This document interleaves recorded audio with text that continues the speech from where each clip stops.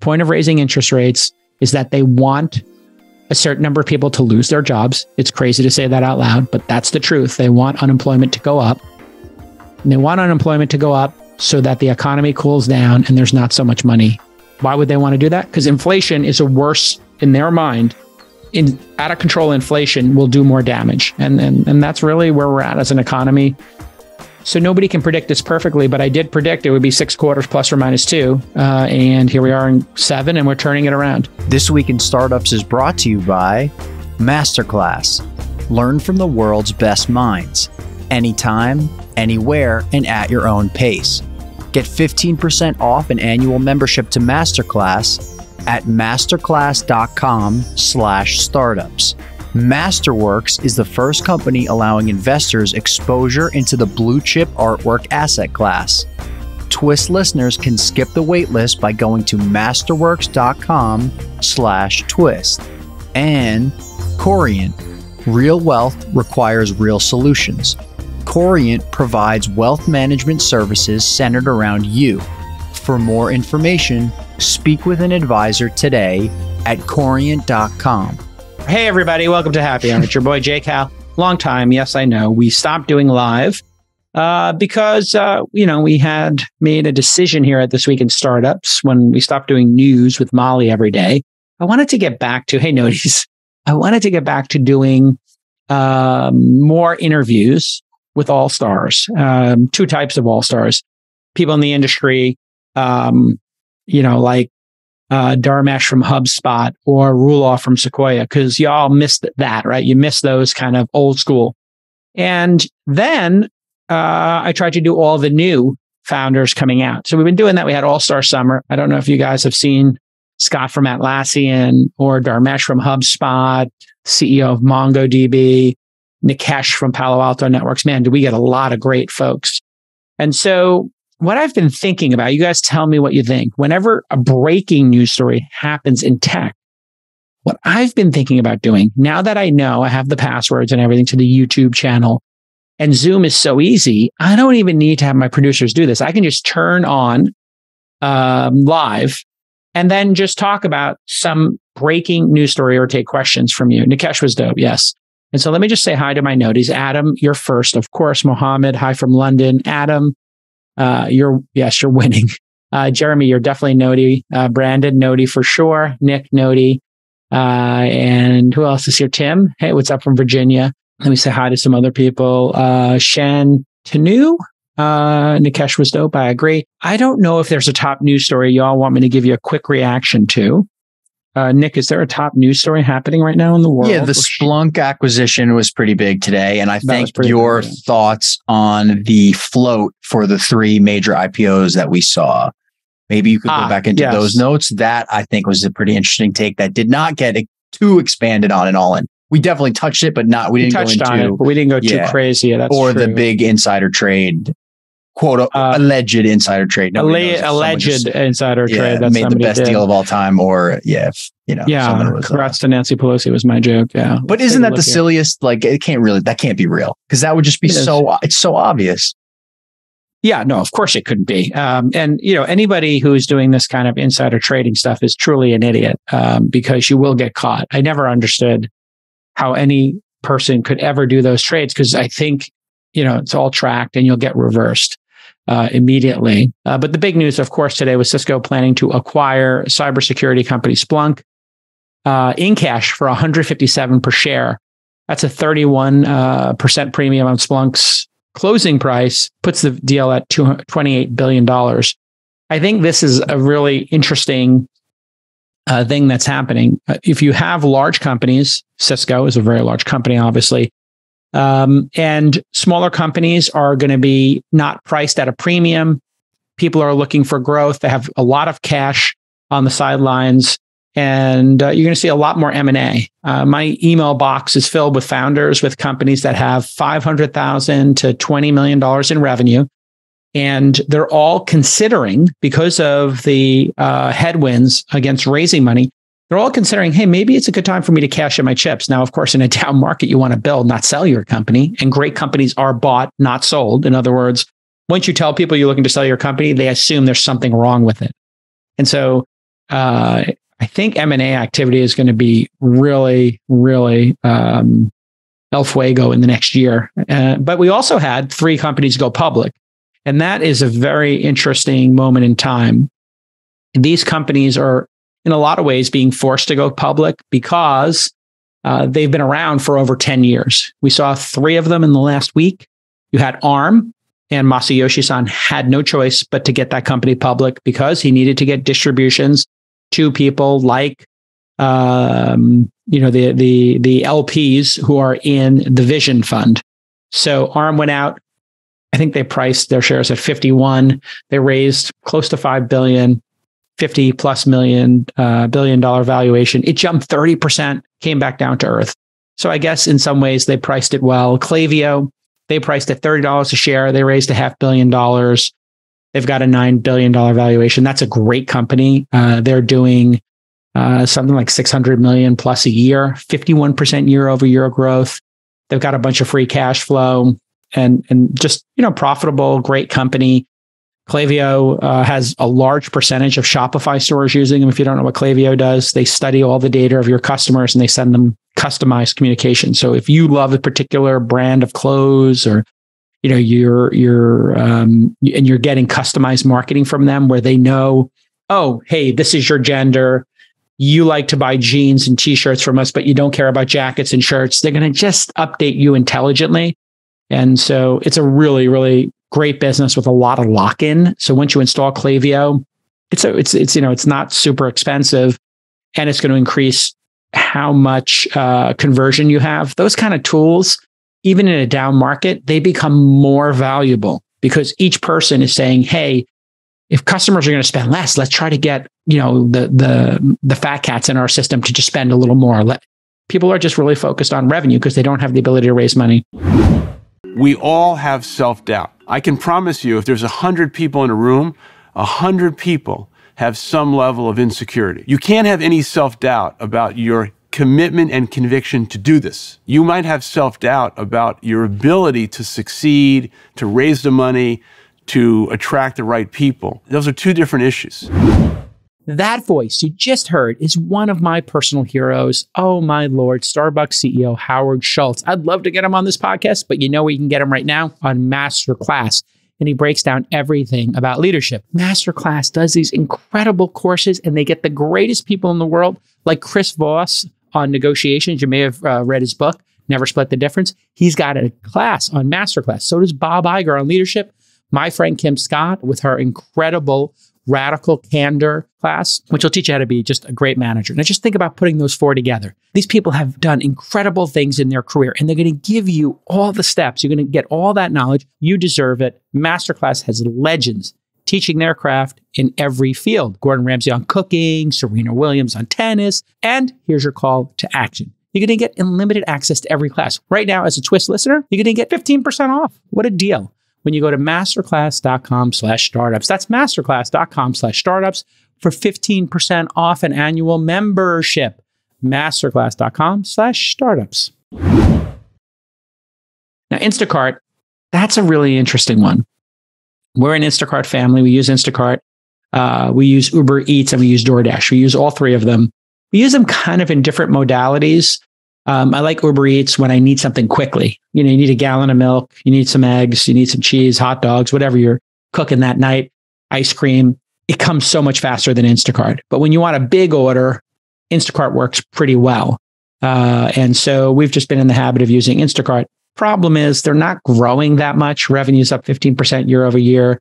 Their ad revenue's up 20% year over year, but it seems like they don't make any money off groceries. Groceries are the worst business you could ever be in. And so I think, you know, the the the the real red flag on that business is that the gross transaction volume is flat.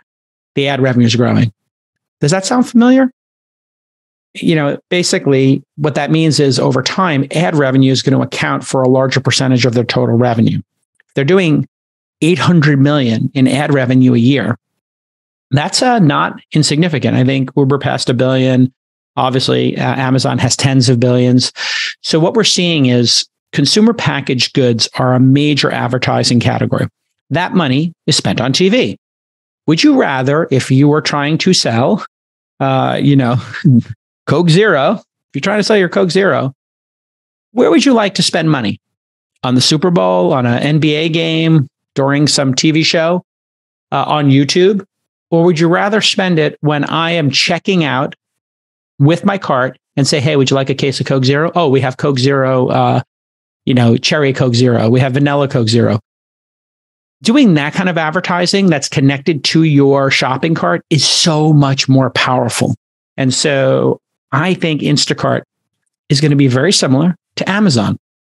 There's multiple ways you can advertise on Amazon. You know this because when you do a search and the top row is sponsored and then you're trying to find the first organic row, it's incredibly frustrating as a user. Uh, but sometimes the advertisers are actually the best products. And so you'll see the Amazon choice and the sponsor, just like when you do a Google search, sometimes people will buy the ad for their own name. Like Volvo will buy the ad for Volvo, and then you'll have the Volvo organic search result.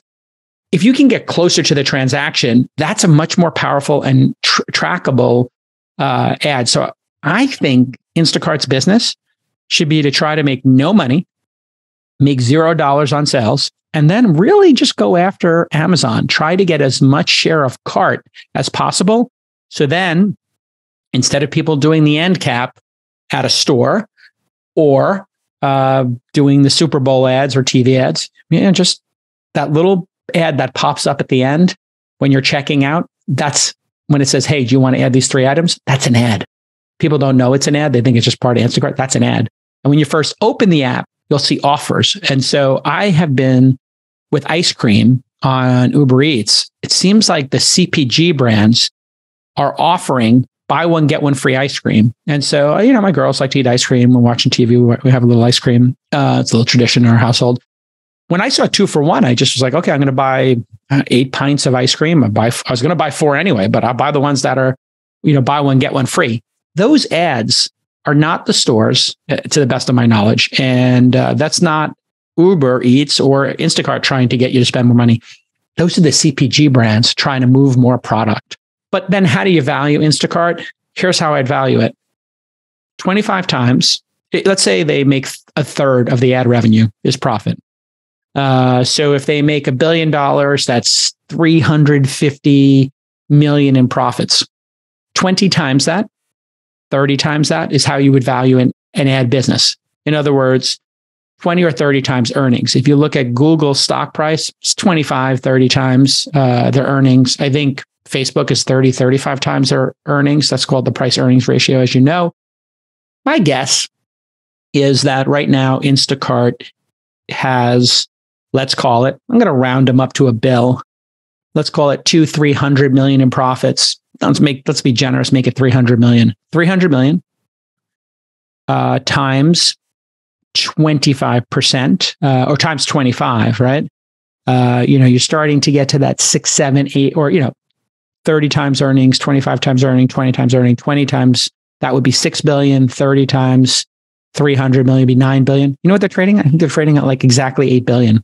I think that's how the market is um, valuing them. If you want to compare their 800 million to Amazon, Amazon's got 40 billion. So there it is. I, I think that's a really great way for you to look at that business. So big week for IPOs. What does that mean for the startup market? It means that the people who are the LPs in Khosla, Y Combinator, Sequoia, Andreessen Horowitz. Those are the big beneficiaries. They did the early rounds, the you know the seed, Series A and B, of Instacart. Those folks are sending money to LPs. Who are the LPs? It could be someone like Ford Foundation. It could be somebody like Harvard. It could be someone like CalPERS. It could be high net worth individuals. It could be a sovereign wealth fund like Mubadala. Anyway, those people are getting money back. When LPs get money back, then they feel confident enough to put more money to work in venture. And thus the cycle begins again. But right now, limited partners haven't gotten a lot of money back because it's been a two year drought of IPOs. All of a sudden, three IPOs in a week. If you were in the vision fund and you were kind of bummed out, getting you know billions of dollars uh, from Masayoshi san for ARM feels good. You know, if you're a Khosla or Y Combinator or Sequoia or Andreessen Horowitz LP, hey, getting some Instacart shares feels pretty darn good. getting Klaviyo shares feels pretty good. And that builds the confidence that Silicon Valley and the tech industry and venture capital and accelerators and angel investors can actually identify companies that scale and change the world. Now, I would add too, Jason, Vision yeah. Fund LPs got an extra, extra nice gift because SoftBank, the entity, the main company acquired 25% of ARM from yes. its own Vision Fund at a $64 billion valuation, so higher than what it went out at um, yeah. last month. Yeah, so they got to double. They got to double dip. It's a really good point. So yeah, basically paying Vision Fund LPs with shareholder dollars, which is. I, listen, here, here's what's happening. It's such a really good point. Is everybody who's in the capital allocation game wants to get more of their LP's money so that people, uh, you know, um, trust the ecosystem more. And when things crash, you know, trust and concern, you know, people don't feel good about certain stocks. They don't feel good about the stock market. They don't feel good about venture. And that's what happens when a market bottoms out.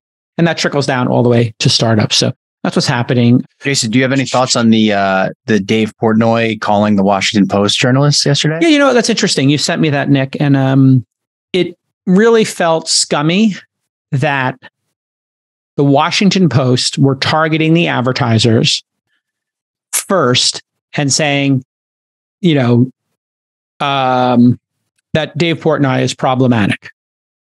It felt like they were doing that to damage Dave Portnoy and damage Barstool Sports and to get those sponsors to cancel their sponsor agreements for his pizza festival. And then they want to go to him and get a comment at the last minute. That's kind of dirty. Uh, if, and I think that there's probably a very strong internal discussion going on at the Washington Post about, hey, our job is to, you know, uh, when we have a story like this, um, maybe start with the person who is in question. And you say, hey, Dave, um, these things uh, people felt were misogynistic, or, you know, you used these terms, uh, you know, 12 years ago. And, uh, you know, maybe those things are not politically correct right now. You have to ask yourself, like, why is this story important to the Washington Post right now? That's what I felt like really weird. And the way they're doing it seems like they were using a tactic to damage Barstool Sports. Now, I don't think they're direct competitors, but it felt like vindictive, virtue signaling, woke, whatever. And you have to ask yourself, like, okay, if there was a star, you know, Dave Portnoy is an actor, basically, right? He's a persona. If you had an actor from 10 years ago or 20 years ago, and in a show they used a term that was not politically correct or acceptable today, and the, you know, society's changed over 10 or 20 years. So I'm just sort of taking Dave Portnoy out of it. And then that person is, uh, you know, in a commercial for T-Mobile, or that person, you know, did a skit or a comedy bit on a talk show, whatever. And hey, that's not politically correct now. And then they go do a movie and you try to get them canceled on Disney. It just felt, I think, to people like the woman was gleefully trying to set up a situation uh, where they were trying to damage the business. And uh, you heard Dave Portnoy use the term tortious, uh, tor- tortious interference. And what that is, is a fancy word for you're trying to damage my business. You're trying to interfere with my ability to do business. So I think the lawyers at Washington Post, when they hear that discussion going on, they're like, uh oh, this does feel like maybe we're not playing it straight. And this is why media has lost credibility, is because it feels like they're trying to take people out as opposed to inform the public. Now, I don't know if that's the case with this writer. I, don't know if it's just sloppy reporting. you want to play the clip where she specifically says the tactic that she uses? She kind of says the quiet part out loud. Yeah. So this is where it kind of breaks down. It was like all the way at the end, she was talking about the tactics of journalists. And that is, to your point, Nick, saying the quiet part out loud, which is journalists do have tactics. And one of the tactics is to try to bait people, to taunt people, to get them to talk, and then at the last minute try to get a no comment from somebody. And so we'll just play the this like a minute i think it's at like nine minutes or something. Go ahead. It's nine minutes and 20 something seconds but everybody yeah. listen closely because he's obviously using a cell phone up to a microphone so she's much lower than he is. Okay. Say i have not made my mind up about you. Then why would you include that in the in the email to sponsors because I was hoping for a dialogue with them. You know, sometimes you have to say something like, "This is like," you know, it's sort of a reporting tactic. When you want someone to respond, you kind of have to indicate that there might be something negative, and then you get them to engage. That's all I was trying to do. I really wanted them to engage with me. That is a sad state of journalism. If that's a tactic that you have to, what I would say is make up something sure about somebody. That there might be some, there might be something negative, and so you want to give people a chance to respond. Yeah, you can see by Dave's reaction. It's like she doesn't know if it's true, the negative stuff, and she's trying to bait some sponsor into responding. Really dirty tactics. Uh, Washington Post needs to talk to that journalist. I, I don't know which journalist is. They, they they might be Pulitzer Prize winning, but the fact that she said that out loud, you know, kind of confirms what a lot of people suspect, which is the thumb is on the scale. And it just doesn't feel good. I don't think these journalists understand that we don't want to feel manipulated. And, and that's like one of the themes of the past, I don't know, decade is whether whatever organization it is, we don't want to feel manipulated by the government, by a health organization, by the Fed, you know, or, or by media. Just tell us the truth. That's what we want. Just tell us the truth. And if we want opinion, we'll, we'll watch an opinion show. But you know, the Washington Post is supposed to be really, really, you know, great journalism. And I think this is a tactic that you m- might expect at like, you know, the news of the world or some Rupert Murdoch, uh, you know, gossip publication, not the Washington Post. And, uh, you know, it's the same thing with the New York Times, very similar tactics. Um, where you feel like they're really trying to destroy somebody as opposed to just inform the public. And so it's it's it's sad for me as a journalist. There's two factors that are contributing to this. One, there's a generation of journalists who think it's their mission to do advocacy, right? Like they have to be advocates and they have to try to get an outcome as opposed to just informing people. And the second piece is they've had their business destroyed by competitors, online competitors, whether it's Google, Facebook. We're just talking about Instacart uh, and their advertising business. All of that advertising, uh, also Craigslist, Facebook Marketplace, that took the classifieds and the advertising business away from the publications. And so the fact that they've had their advertising crushed is a, is a big part of the story here too, I believe.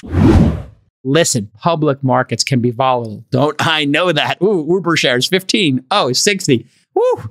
That is why many people like to diversify their assets to be safe. And if you're looking for a unique asset class to diversify with, hey, what should you do?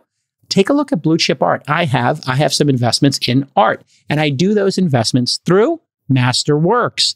Blue chip art has historically been uncorrelated with the stock market, okay? And Bloomberg reported that as equities dipped last year, art prices and expenditures actually increased. Very interesting. With Masterworks, you can invest in fine art without needing millions of dollars, and you don't need to know anything. They do all the work, they research it. Basically, they've securitized blue chip pieces of art, and then they sell shares to investors like us. Every painting Masterworks has sold to date has delivered a positive return to investors, including annualized net returns of 10, 17, and even 35% this year, according to Masterworks. And they just completed their 16th exit a few weeks ago from a Kusama piece. Ah, very nicely done. Shares of each offering are limited, but Twist listeners get special access and they get to skip the waitlist. So Go to masterworks.com slash twist. That's masterworks.com slash twist to skip the waitlist. Past performance doesn't guarantee future results. See important disclosures at masterworks.com slash CD. I'll take a couple questions from uh, folks in the chat room. Let me take a look here at the questions from JD. Do VCs ever go back to previous business trends or does everyone focus exclusively on the it thing like AI today? Great question. What you would do is um, you would take the new platform change and then you apply it to everything that came before it. Okay, that's an example of that.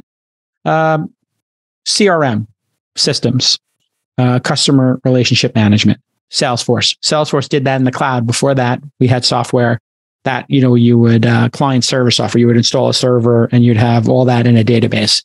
Then uh, you know mobile comes out, and so somebody makes a mobile experience. So you have superhuman on mobile is you know better than gmail or gmail replaced you know eudora a client that you would buy and so with ai i think ai is an opportunity to look at every existing business and i had this discussion with the ceo of kayak recently you'll get that episode soon And when I had the CEO of Kayagon, I was asking him like, "Hey, what do you think about AI?" And he he wasn't particularly enamored by it right now. Um, and I thought, hmm, I, I don't know if I agree with that. I think really the you know AI is going to change how we book flights, restaurants, et cetera. I think you're just going to talk to and say, "Hey, what are I'm going to New York?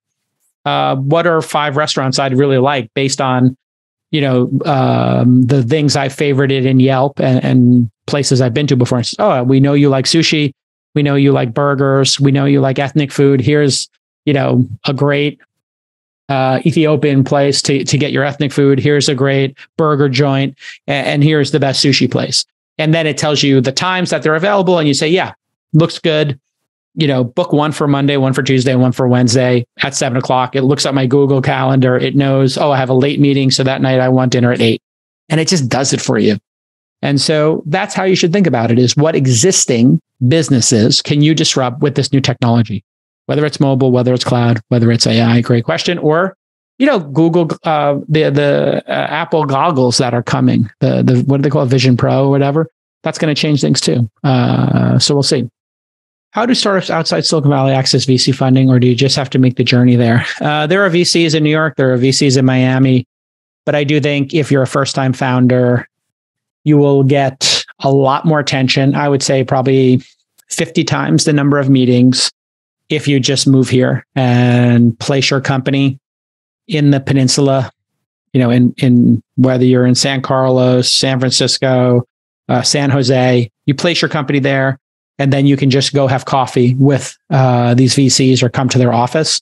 And people are starting to be in offices again. So I would say you get 50 times the number of meetings, and it's a numbers game. Now, if you are a breakout company in Salt Lake City or Austin, VCs will fly to you. So that's the nature of it. If you have a great company that's growing 3x year over year, you're going to get funded if you're in Boise, Idaho. You know, like Shopify, they were in Ottawa, I think, originally. So it doesn't matter where you are if you're in the top 1% of startups. If you're not in the top 1% of startup, startups, you have a massive competitive advantage being here. I heard you say, this is beer script. I heard you say you believe we still have six months of this down market. What makes you arrive at that prediction? How do you think the transition will go? Hockey slow. I, I've said from the beginning, because I looked at the three, um, I, I looked at the two previous down markets I lived through dot com and Great Recession. These things tend to last six quarters plus or minus two. So the shortest they'll be is three or four quarters. The longest they'll be is like maybe nine, uh, six, seven, eight, nine quarters. You know, uh, two years. So somewhere between, you know, half a year and two years is the is the the historical norm. And what we've seen, uh, we're six, we've, we're, we got six quarters behind us, uh, and almost finished the seventh quarter of down market chaos. And it feels like green shoots, right? We've had three IPOs in the past week. We've got M and A happening. Uh, we have companies that cut off and laid off a bunch of people now saying, "Oh, maybe I'm going to bring somebody back," and that's what you had happen with uh, Salesforce. Just said they're hiring people back, and they may have some boomerang employees. I, as long as consumers are strong and we have the lowest unemployment of our lifetime, then they'll have money. If they have money, they have confidence. If they have confidence, then they spend money and we're a consumer driven economy. And businesses, if they see consumers continue to spend money and there's competition for employees, they're going to compete. But the reason I think things are soft and might be changing is because I have a number of job descriptions out because my two businesses, Launch and Inside, are doing so well and then I also, uh, you know, have some domestic positions, you know, like nannies and stuff like that. I have seen a dramatic uh, change in the number of qualified people applying for jobs. And then, you know, some people will apply for a job on LinkedIn. Then they'll write me a personal email if they can back into its launch and then they go find the CEO. And then I also have people email me and say, Hey, I'll work for you for free for three months, prove myself, etc. I'm starting to get those. I won't call them desperate emails, but I'll call them, you know, I really need a job emails. And you know, I've been there myself in the other part of my career, you know, needed a job once or twice. And I'm seeing a lot of that. So I think the labor economy is uh, uh, softening. And then that means, you know, if there aren't as many consumers going crazy after three YOLO summers, they probably won't spend as much money, will they? If they don't spend as much money, then inflation should go down because people are going to lower the prices of cars like Tesla's doing. They're going to lower the price of hotel rooms and flights. And this idea that like it's hard to get a flight, hard to get a hotel room, hard to find a, a car, which you know it has been for the last couple of years. Well, that's going away. That's kind of healthy. That's the slowdown. That's the point of raising interest rates. The point of raising interest rates is that they want a certain number of people to lose their jobs. It's crazy to say that out loud, but that's the truth. They want unemployment to go up. And they want unemployment to go up so that the economy cools down and there's not so much money. Why would they want to do that? Because inflation is a worse in their mind. In out of control inflation will do more damage. And, and and that's really where we're at as an economy. So nobody can predict this perfectly, but I did predict it would be six quarters plus or minus two. Uh, and here we are in seven, and we're turning it around. What that means for startups, you got to get to break even, have a path to break even. Uh, you got to have uh, a lot of options available to you. If your startup is losing, you know, a hundred thousand, a million dollars a month, you're not going to get funded unless the growth is amazing. And you know, it's it's hard to grow right now because uh, you know it's a tough market. Uh, Zach asks, since you invest in so many companies each year, how do you find alpha and separate these startups from each other? Great question. We have a database. We have 20,000 applications a year. We meet with 3,000 companies a year. We have 19 full time people at the company. I'm hiring three more researchers, analysts. I hire researchers and analysts kind of out of school. I think we, the uh, starting salaries are like 60 and 70K. So it's not a super job, but it's not a terrible job. And then we ask them to do 500 meetings per year. That's 10 meetings a week minimum. Some people do 15. That's three meetings a day, writing coverage of every startup. Then we, we write a lot of small checks. So we have 25K checks we give to founder university companies. We have 100K checks we give to launch accelerator companies. 100 million people listen to my podcasts uh, between All In and This Week in Startups. Then you have 20,000 applications and 3,000 meetings the when the meetings have certain characteristics, and I have 12 characteristics I like uh, in startups, like builder founders, product velocity, a growth rate above 2x. There's uh, I love world class design. Uh, I like certain markets that are high gross uh, margin. If a startup has three of the 12 uh, characteristics I'm looking for, the team will take a second meeting other people will look at it and then we have two investment team meetings a year and then people will tell me hey we should make this investment and then we as a group decide if it's a follow-on investment we invest in the top 10% of our portfolio. So it's a competition. If the top 10% of our portfolio is growing 3x and above and yours is growing 2x you just might not make the cut. Why? We'll have a certain amount of dry powder as an investor. I need to put it into the highest performers i have access to.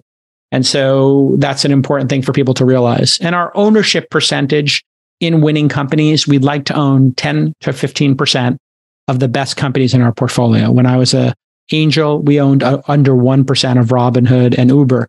But then we started to own 2%, 5%, 10% of companies like Calm or Superhuman or Grin or Fitbod. And so when we saw companies start to get to tens of millions in revenue, we really started to build that position. And so you want to make a lot of bets and then study them through their monthly updates and just looking at the statistics, being board members, board observers. And then you plow the, you plow basically a third to half of your fund. If you had a hundred million dollar fund, which is what we're raising now, you want to put maybe 50 million of that fund into the highest performers, 50 million into the first bets. So it is a competition.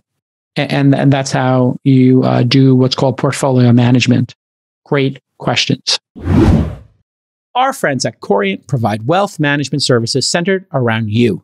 Corient's goals are to exceed your expectations, simplify your life, and help you establish a legacy that lasts for generations. Corient has been helping high achievers just like you enjoy their lives more fully, preserve their wealth, and provide for the people, causes, and communities they care about. They're one of the largest integrated fee only US registered investment advisors, and Corient has deeply experienced teams in 23 strategic locations. Each team has extensive knowledge spanning the full spectrum of planning, investing, lending, and money management disciplines. The team at Corient put the collective power of their expertise into building you the custom wealth investment and family office solutions that can help you reach your holistic financial goals no matter how complex they may be. Real wealth requires real solutions. For more information, speak with an advisor today at corient.com. That's corient.com. Which question do you like best next? I know that we got a lot of questions coming in here. Um, there's a good question about why you're doing the cloud kitchen incubator that I think would be interesting. Great. Yeah. So, uh, why don't you pull up the landing page? Uh, so, uh, my friend Travis, obviously, uh, is doing Cloud Kitchen. He had done Uber. I'm involved with the company. And we think there's an opportunity to support food entrepreneurs, people who want to build a brand. So, what we're doing is we have a very small fund. I would call it a micro fund. I'd call this an experiment. And we have this curriculum from Founder University. The Founder University curriculum teaches software companies, marketplaces, fintech companies, et cetera, how to grow a business really fast. Now there's that opportunity inside of Cloud Kitchens. How does a Cloud Kitchen work? Let's say you have an amazing product. Like there's this thing called milk bread, uh, which I had this incredible French toast when I was in Tokyo. And so, Nick, if you do a search for uh, milk bread Los Angeles, you'll see like it's a, it's a bit of a phenomenon in LA. And there's somebody who's got a cloud kitchen that does this milk bread. Here it is. Um, and so they um, have this plush loaf of Japanese bread. It's it's done in a ghost kitchen. Cloud Kitchen is the name of Travis's company and Diego's company. Uh, ghost kitchen is what people call it. What what is that? To just level set with people. Imagine you had a warehouse at the intersection of the 405 and the 10, or you know the the 380 and the 101. If you know that interchange in San Mateo or in San Francisco, where the drivers could pick something up and then get to a large number of people very quickly. Um, and that was cheap real estate. And then in it, you build little, you know, eight by eight, 10 by 10 kitchens. And then instead of you having to go find a kitchen as somebody who's making this milk bread, or let's say you want to make a katsu sandwich place or a salad place or a boba place, instead of getting a storefront for $10,000, $20,000 and having to outfit it, what if you could, for 3500 or 4500 a month, be in this location where the drivers are sitting outside. And then when you finish making an order, you just take it and you hand it to somebody at the front desk and they take it from there. Now you've eliminated like a third of the work, you know, on a daily basis. And then you've eliminated long-term leases and um, building out kitchens, putting in a stove, et cetera. And then Cloud Kitchens also has software. So what if we gave $50,000 to people to start one of these? So imagine you're a chef, you work at a restaurant, you work in the appetizer place, and you just think, you know, I don't want to work here anymore. I want to be my own boss. I make 50 grand a year working at this place. Well, if we give you 50 grand and you take the year and then you go build this cloud kitchen, and I think we're going to give people a couple of months of free rent in a cloud kitchen. Uh, we're just meeting with folks now um, this cloud kitchens effort, we might build the next great American food brand. You know, whether that's a donut shop like Krispy Kreme, whether it's you know sweet greens for salad, or uh, what's the uh, chicken that we used to get at the office, or Belcampo burgers. I think we have an opportunity to build some of those businesses. So it's a little bit of an experiment. We'll probably do two cohorts of seven, 14 companies, and see how it goes. Um, so I like to experiment. I like to work with my friends and you know, I think we might be able to build some really huge, uh, lasting businesses. Uh, let's see. From Darian, do you believe that there should be guardrails on AI or should there be as little regulation as possible to help spur innovation? It's a great question. I don't have an exact answer. I do think that uh, open source is a really great way to mitigate this so that we can see what it's doing. I think uh, people explaining what the AI is doing is a good idea. And, um, you know, we have an existing set of laws that uh, exist around intellectual property uh, and crimes.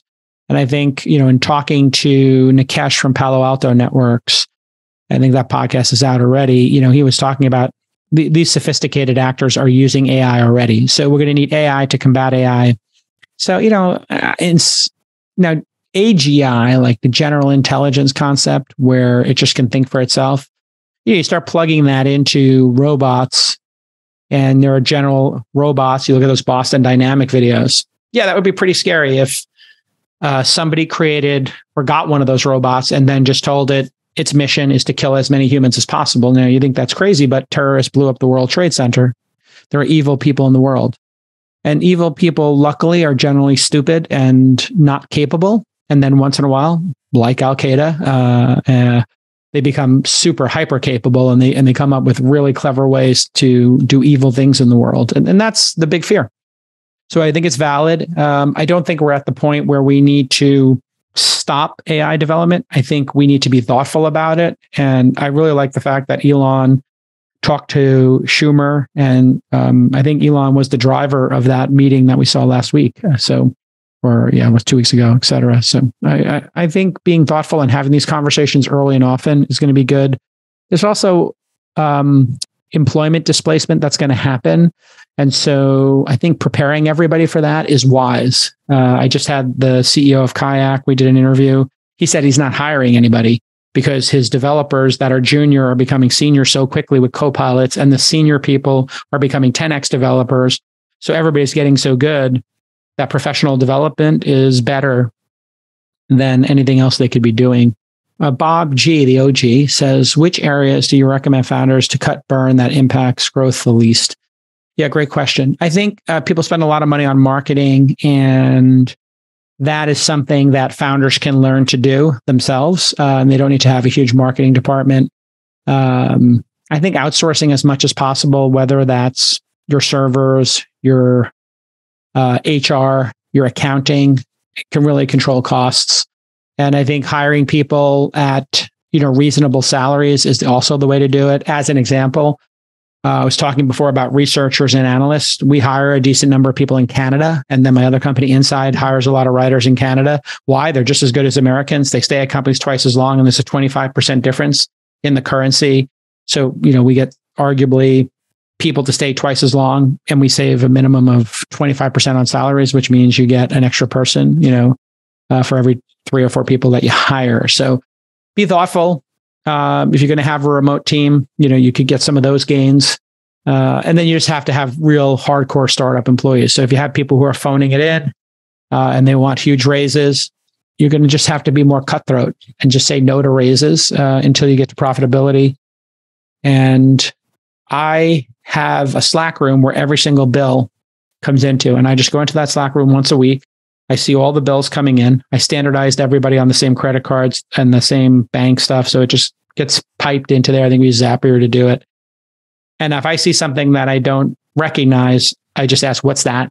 Is it essential? If it's not essential, let's get rid of it. So essentialism is great. SOS asks, when should a founder? Wait, sorry, we got a super chat question for five dollars. I think you should answer. Oh, really? Oh, I, that's completely unnecessary. Um, but okay. Uh, super chat question. Hamza, uh, thank you for the five bucks. I don't know what I'm going to do with it, but uh, okay, great. Interest is forbidden in Islam, but I really want to invest or create an investment group for startups without interest. Is this possible, Jason? Okay, that's something I was aware of. That interest is um, religiously not tenable. Uh, so, but startups, when you do a note, has an interest rate. On a safe, it does not. So I think you would be safe with a safe because it doesn't have an interest rate. And on a convertible note, you do have it. So I think the way to do that would be to waive your interest or to donate that interest to a cause for Islam. And then it would not be, uh, if we're looking at the spirit of the religious law, it would not be um, interest, it would be a donation and you would be in the clear. But you'd have to talk to your imam, I guess, and have a thoughtful discussion about that. You know, some people are how they interpret things is very literal, and some people interpret things in the spirit of the law. So, great question. And I will take questions first from people who do super chats. Yes. Although I don't want people I, don't think I want people doing super chats because, but whatever. I do super chats all the time for Knicks Fan TV, but I'm a super fan of the host and I want them to keep doing it. Uh, but I will take super chats first because that seems most fair. From Bob G, how do you advise founders to solve disagreements internally? It's a good thing for investors and board members to do. I think division of labor is very important. Who's in charge of what? Having one CEO who ultimately makes the decision. Emotional maturity and self awareness is important. I think having the discussion, hey, you believe X, I believe Y, let's steel man each other's positions and let's, you know, uh, argue each other's side and then uh, place a bet. And so Annie Duke's book, uh, Thinking in Bets, good book, great thinker. Um, you could say, I am 80% convinced that we should be a business to business company. 20%, I think we should be a consumer company. And then your co founder might say, well, I'm 50 50. So, okay, let's spend the first year being an enterprise company. If we hit these specific notes, then we'll keep going. If we don't and we don't get traction, then we'll switch to my idea. And then you just codify that and write that down. And so you make it more of a um, a bet and you're honest about it. And, and then you can go back and if you've documented it, have a really thoughtful conversation about who was right and why and what, what was your thinking. Here's a question. Uh, oh, and board members, if you have a disagreement, go to your board members and try to de escalate it. Try to get down to understanding and having empathy for the other person's position, and then make a quick decision, be willing to reverse it. From Tovare, hey, Jason, thanks for doing this. My question is What is a book that you've read recently that you would highly recommend? Could be any type of book. Okay, great question. Uh, Unreasonable Hospitality is a book about 11 Madison Park. I highly recommend it. That's it. Go take a look at it. Uh, do you think the UK underperforming when it comes to unicorns and big impact on startups? If so, why? UK is a smaller country. You know, if you if you got a fraction of the number of people as America, India, China, you, will have a fraction of the number of unicorns. Also, um, you know, there's eh, different societies view entrepreneurs differently. America, we've typically celebrated them, um, and for a period, China was celebrating them. Now they're not. So it really is up to society to decide if they want to celebrate entrepreneurship and innovation or if they want to vilify it. This is one of my main concerns about America right now, that we're vilifying people, and it's really crazy. Uh, okay. I think that's enough questions for now. I didn't think I missed any. It's nice to get 100 people to pop in and say hi. And if I do it more often, more people will come. So if you did see this, give a thumbs up. And then where the subscribe button is, I'm sure you're subscribed to this. You can hit all and you'll get a, a notification when I go live. And so maybe we'll do some more now that I know how to do it, I just pop up Zoom and then I just hit that button, Nick, and I'm good. And I don't ever have to talk to you or anybody. I can just do it when I want.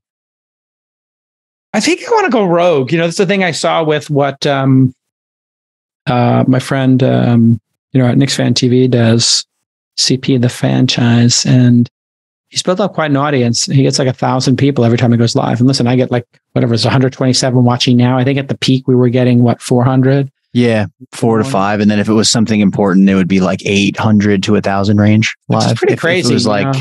Apple yeah. or uh, the day that Elon bought Twitter. I remember we went live. That was crazy. We had a lot of people in that one. Great, awesome. Okay, I'll start doing that. All right, everybody. I will see you next time. I'm going to go watch Ahsoka with my daughters and make them dinner. Love y'all. Peace.